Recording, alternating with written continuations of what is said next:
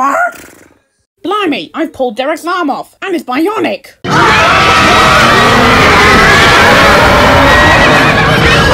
Hey, you're no robot! These aren't advertised on the telly! You are cheating!